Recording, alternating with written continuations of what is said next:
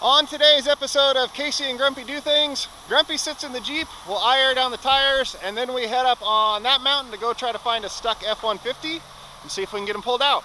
These are an automatic tire deflator, so I screw them on the valve stems and then they will keep letting air out until these get down to about five pounds and they'll stop, which means I got them screwed on, we could hop in the Jeep and start driving. They'll do their thing. You ready to roll? I am ready. Okay, let's go. We are here and we got to go over there. Follow the blue line. Where the sun's shining? I hope so, Oh, yeah. because it's a little cool down here. And here are nice oh, big rocks we're going over. Ha! He got one on his side. They weren't all on my side.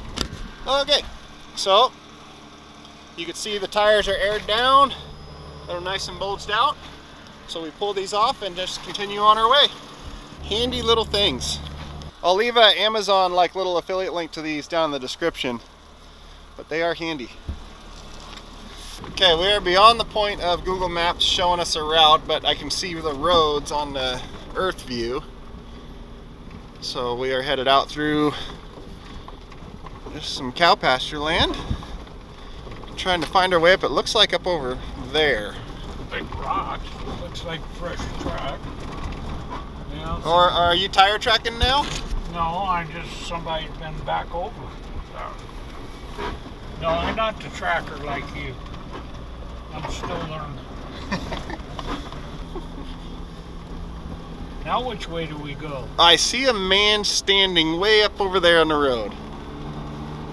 Is that uh, you mean right in the middle of the road and with the gray jacket on? I I hope that's who we're looking for. If not, I'll bet, it, I'll bet it's a cow stick. No, looks like maybe a somebody.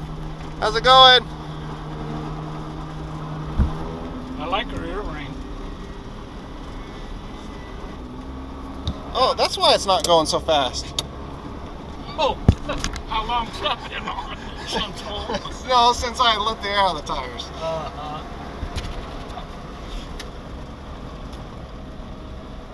Huh. There's those weird rock shapes again. How's it going? Thank you so much, guys. No problem. How much farther apart? Oh, I see a Uh, truck right yes, it's right there. I spun around and got got uh, just caught up in some deep sand. So. Okay, we'll go check it out and see how we're gonna get out All there. right. Thank you so much, guys. Yep. Nice Jeep. Thank you. Okay. Oh, he's not too bad. No. Pull him straight out this way, right on up the road. Yeah. Let's go take a look. He got me locked in here. He doesn't want me to get out because I leave door open.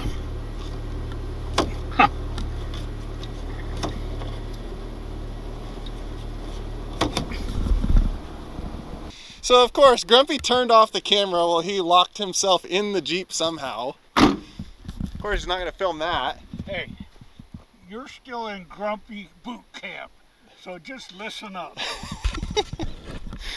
Well, here, do some Grumpy filming. Oh, you got in there pretty deep. I know. I'm telling you. That's Did you thing find any gold? I was gonna pan, but I'm a little short on water, so that was. Well, that was the I, next- we can't help you there, but you know, you might even find it that way. Glad you guys came out here. This is There's no big rocks that's gonna hang up on anything, so we'll just hook the Yankum rope up there and give a pull that way, and we should. take him up the road. Yeah, which way are you gonna try to go out of here? Uh, I'm, I'm gonna, Back af- down- after this. down? I, want to go down. Yeah. You don't want to stay here tonight? no. Oh, okay.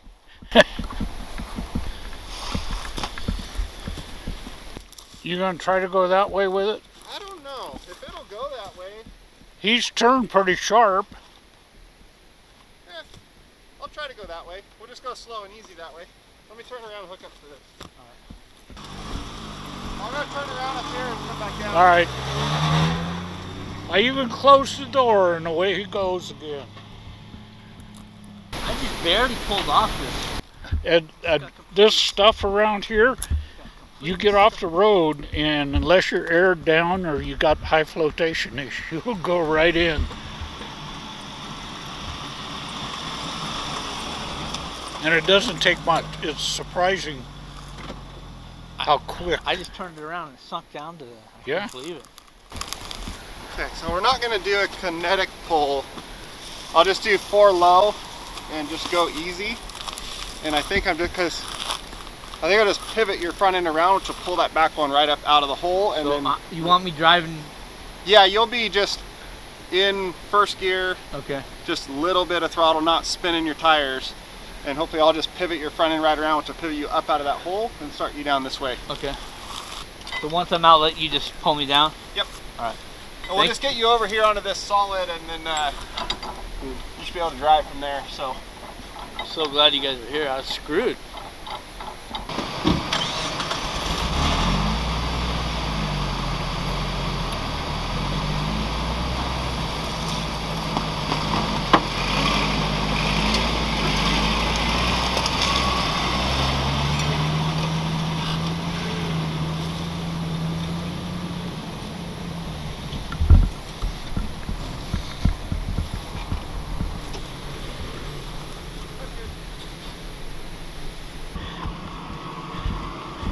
That was actually pretty easy. yeah, I mean, that, that's my problem with Yankum ropes is we come out here and make videos and all that and they just make it, there's not much of a video. Like, it just Well, it- works. No yank. There's no, no yank. excitement. There's no nothing. It's that's the problem with Yankum ropes. Yeah, if you would like your own totally mundane, boring, non-exciting recoveries, click the link in the description to get a boring Yankum rope.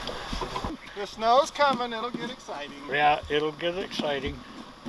Tracks on the Jeep, Yeah. snow, people trying to head out in six foot snow in a Tesla. Here, I'll, I'll get the door for you.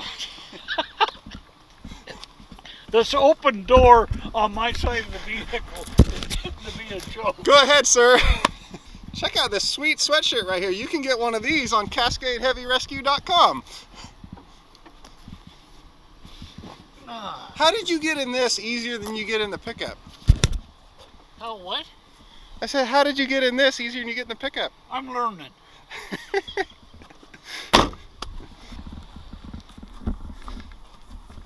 oh, look at that. You can film that airstrip down there. Oh, let's see if he's flying. That's cool. I think he's standing out on the runway. Let's go see if he's flying. I hope so.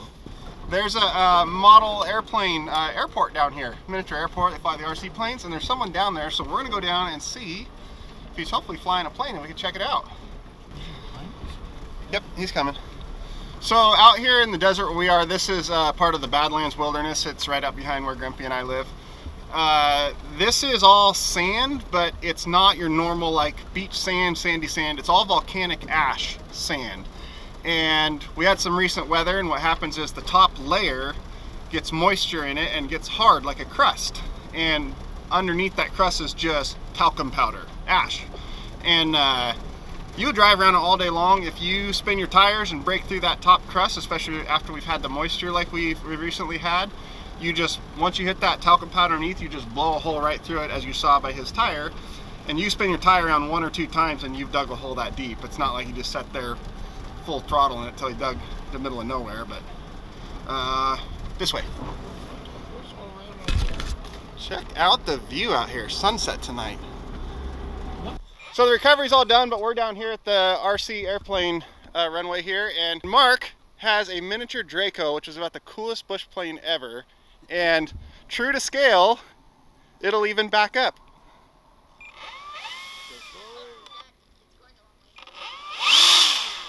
That is so cool. it does pretty funny and uh, funny things in the air too. so did the real Draco. The scale shocks, you know, the king shocks oh yeah. that uh, Mike Patey used, and all Oh, it's working. all fully, fully functional. and the same thing with the, you know, the. Oh, so tail you got the wheel. tail wheel one, the little shock on the tail wheel. Yeah. That's why it bounces when it hits the runway. and has you know full flaps. And Aileron, elevator, yeah, rudder. the whole. Huh. That is cool. So if you're into airplanes at all, especially bush planes, and you haven't seen uh, Mike Patey's YouTube channel, that is one to go check out. He had the full-size version of this plane, and uh, the things he did with it were incredible. Uh, look up Mike Patey. I, I don't know the guy, but it's a super cool YouTube channel that I watch. He builds amazing stuff. His new bush plane that he's building, or built, Scrappy, amazing plane. And this is the coolest model of it I have ever seen. Uh, they came in and they scanned the whole plane, every rivet, every you know, every, every nut, bolt, rivet, everything you is can think of. And uh, when they delivered it to him, the first one, oh, he, I think he cried. it looked, looked like he cried. I can't blame you. Did did the did the model come after the real one crashed? yeah. Oh man. They actually scanned it before, and then when they finally got it into production, the real one had already crashed. yeah, they Oh, had the first prototype done, and it, it had already crashed. But it's cool. You can change the lights. It has the backup light that he used, or the um, rear-facing landing light. Uh, he used that uh, for when he was flying at night, so that his buddies can see him. Three see even got a little Mike Patey in there. Oh yeah, and also if you come around this way, you can see the instrument panel. Oh, it's yeah, fully lit up instrument panel in there. this thing is cool. yeah, it is absolutely awesome. Wow. All right, we lost the light really quick, so unfortunately too dark to see that plane fly. So we're getting the tires aired back up with the Morrflate compressor. All four at once, takes like five minutes, and uh, we're headed out of here. So hopefully you guys enjoyed that. Uh, I enjoyed a nice little treat at the end seeing that plane. See you guys next time.